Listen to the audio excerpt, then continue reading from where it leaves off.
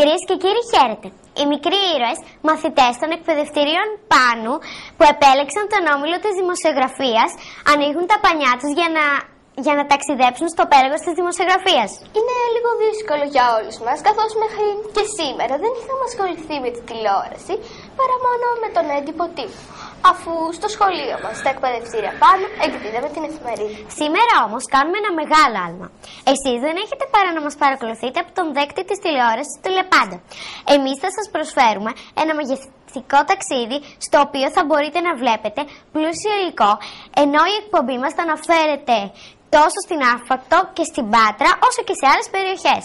Σήμερα θα ασχοληθούμε με ένα γεγονός κοσμοϊστορικής σημασίας για τη διαμόρφωση του κόσμου μα, όπως το γνωρίζουμε στη σημερινή μας εποχή. Πρόκειται για την ναυμαχία της Ναυπάκτου, η οποία έγινε στις 7 Οκτωβρίου 1571 ανάμεσα στον Ενωμένο Χριστιανικό Στόλο και τους Οθωμανούς Τούρκους, οι οποίοι είχαν σκοπό από τον κορυφιακό κόλπο να προχωρήσουν και να υποτάξουν τους λαούς της Ευρώπης. Οι ίδιοι άρρωστοι κατήχαν τη μισή σχεδόν Ευρώπη, μεγάλο μέρος της Ασίας καθώς και τα παράλια της Βορείου Αφρικής. Ο στόλος τη ήταν πανίσχυρος, δρούσε πολλές φορές πειρατικά, ήταν δηλαδή πολύ οργανωμένος και φυσικά πολύ δύσκολο να αντιμετωπιστεί σε ανοιχτή θάλασσα.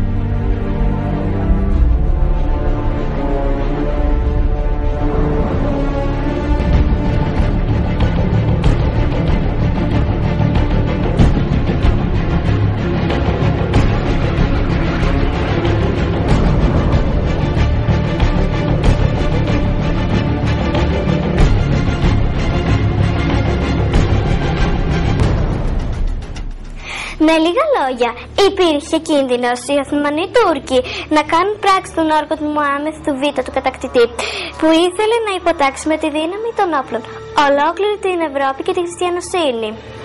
Εξάλλου και τους προηγούμενους αιώνες οι χριστιανοί βρίσκονταν σε διαρκή εμπόλεμη αντιπαράθεση με τους Οθωμανούς με αποκορύφωμα την άλωση της Κωνσταντινούπολης από τους Τούρκους το 1453. Αργότερα, το 1571, καταλαμβάνουν την Κύπρο από τους Βενετούς και ονειρεύονται κυριαρχία σε ολόκληρη τη Μεσόγειο. Αυτό όμως δεν θα το επέτρεπαν οι λαοί της Ευρώπης, οι οποίοι δεν θα μπορούσαν να φανταστούν τους εαυτούς τους υπόδουλους στον ολόθρησκο εισβολέα. Και οικονομικοί όμως. Λόγοι υπαγόρευαν να αντισταθούν στους Τούρκους. Γι' αυτό λοιπόν με τη μεγάλη βοήθεια του ΠΑΠ κατάφεραν να οργανωθούν και να φτιάξουν μια συμμαχία με σκοπό την αντιμετώπιση ενδεχόμενη της επίθεσης των Οθωμανών.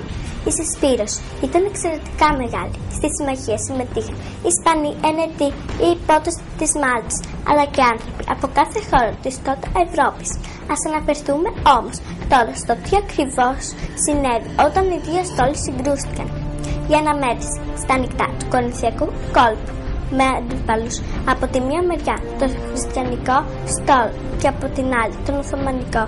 Ήταν σφοδρή η έκφραση. Κρίθηκε επιτυχώς υπέρ των χριστιανών, ενώ οι Οθωμανοί έπαθαν μία ανεπανάληπτη πανελευθερία, αν αναλογιστεί κανείς την ασύγκριτα μεγάλη δύναμη στους στόλους τους.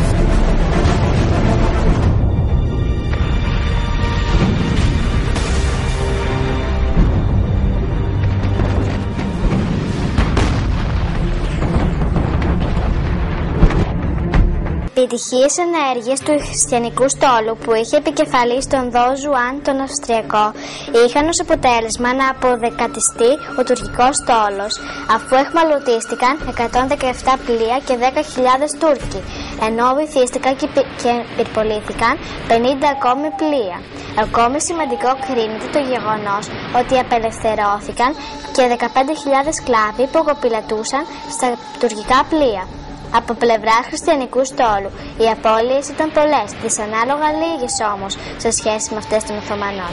Πιο συγκεκριμένα, 7.500 χριστιανοί σκοτώθηκαν και 7.800 τραυματίστηκαν, ενώ 15 πλοία βυθίστηκαν.